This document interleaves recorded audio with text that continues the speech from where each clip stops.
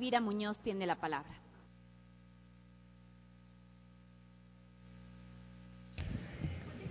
Gracias, eh, compañera presidenta, compañeras, compañeros.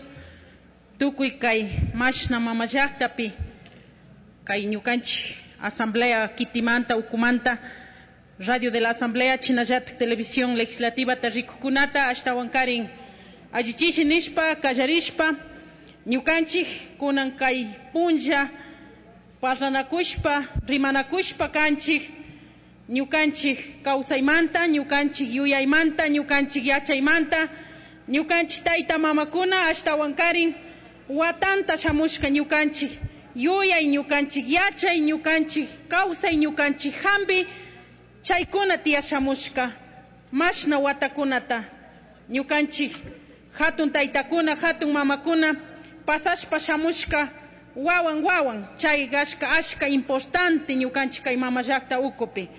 Pero chinapish chay ñukanchik hambi kiwakuna ñukanchik yachaykuna ñukanchik yuyaykuna ashka manipulado kashka ashka ñukanchik a veces ka shuktak mama llaktamanta shamushkakuna chay yuyaykunata apashka chay hambikunata apashka pero ñukanchik llaktapi ñukanchik kawsakkuna mana chay hatun ñukanchik kuri tiyashkakunapi ashka o ima beneficio ta hapishkanchik.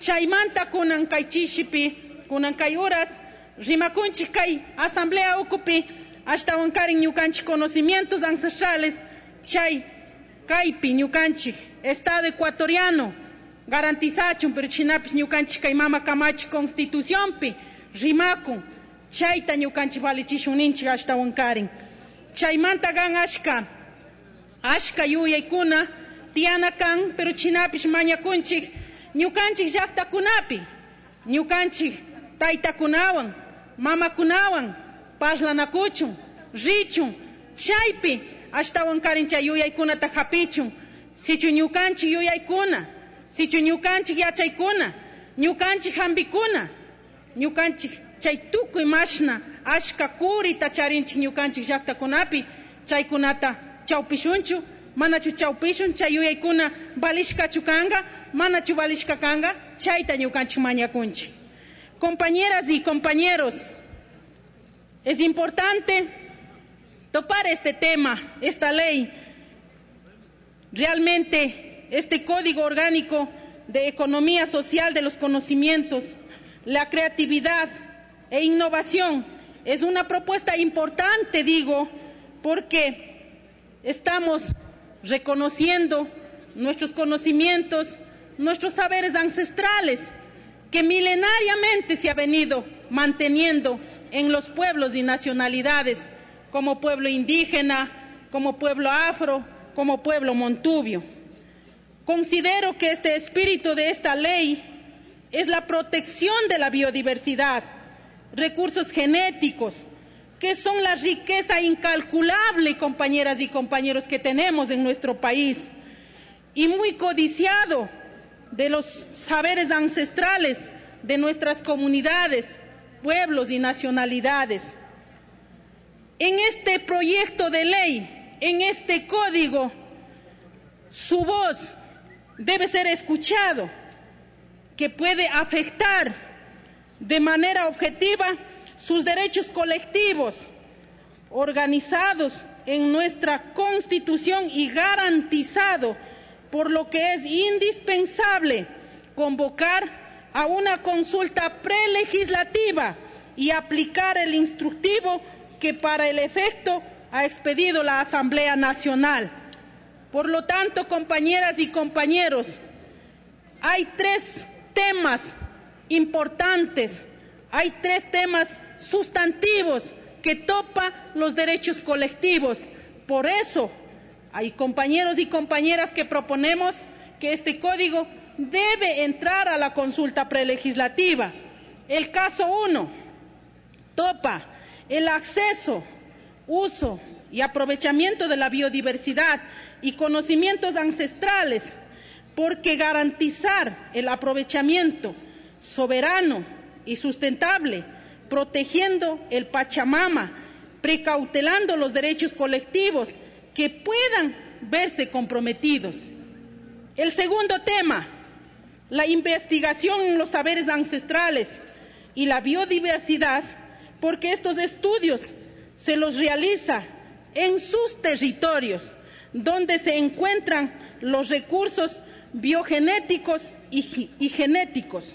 El tercer tema, legítimos poseedores de los conocimientos ancestrales como titulares son quienes deben decidir bajo su consentimiento libre, previo e informado si estos conocimientos pueden ser difundidos o preservar dentro de su interno.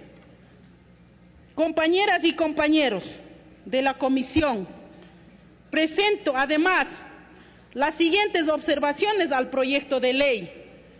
Solicito que el término de conocimiento tradicional que menciona en varios artículos se sustituya por saberes ancestrales, porque para nosotros, para los pueblos y nacionalidades, para el pueblo indígena, para el pueblo afro, para el pueblo montubio, el conocimiento tradicional puede ser de poco tiempo, pero el conocimiento ancestral viene milenariamente, viene de transmisión de generación en generación, por lo tanto se debe decir conocimiento ancestral. Dentro del texto hay artículos que menciona comunidades, otros solo a pueblos y nacionalidades. Por lo tanto, compañeros de la comisión, solicito que estos términos se reemplace en los artículos pertinentes por el siguiente texto. Comunas, comunidades, pueblos y nacionalidades indígenas, afroecuatoriano y montubio. También aprovecho el tema de la investigación para solicitar que en el artículo 45, por ejemplo, que fue la discusión ya del libro anterior, que también ahí solamente están topando la acreditación de los investigadores científicos.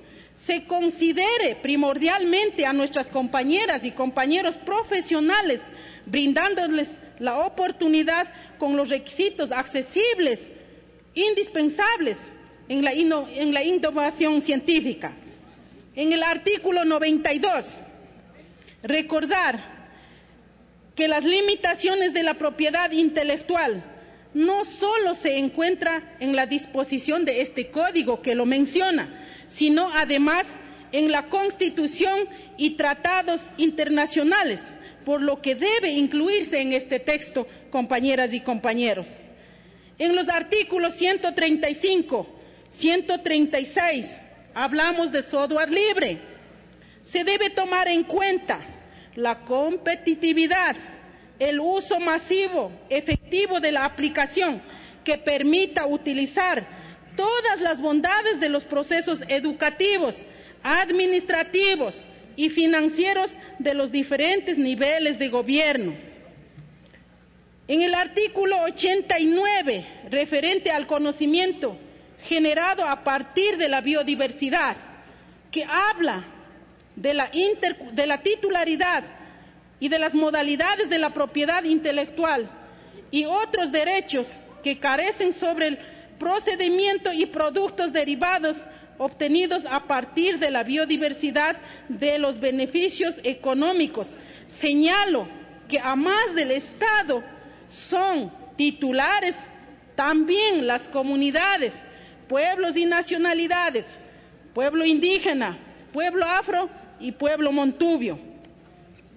En el artículo 237, donde se menciona de las tarifas de uso de obra, interpretaciones, fonógrafos, sugiero que no debe realizar la sociedad de gestión colectiva, sino más bien la autoridad nacional competente para que no exista ningún tipo de abuso.